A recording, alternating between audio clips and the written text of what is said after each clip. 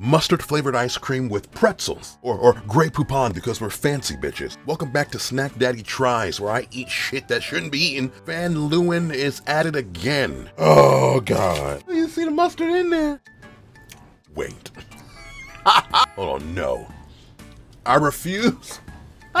it's not terrible. Got just like the essence of mustard. Really deep, rich, creamy flavor. Just like a hint of like that mustardy spice. And the pretzels are real doughy. It's not like crunchy. This shit is pleasant as fuck.